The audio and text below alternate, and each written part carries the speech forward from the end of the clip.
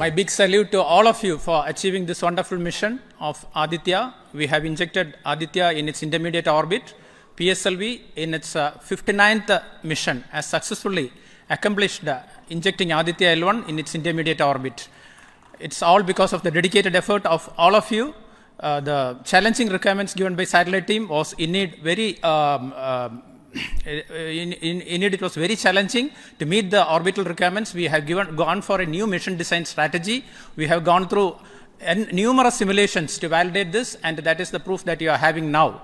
I take this opportunity to thank each and every one of you for achieving this wonderful mission. I take this opportunity to thank all my review forums, chairman and members of all review forums, and our industry partners for giving high reliable systems for PSLV and all our family members. With this, our capability of PSLV has increased manifold to uh, venture into new missions, to new and challenging missions.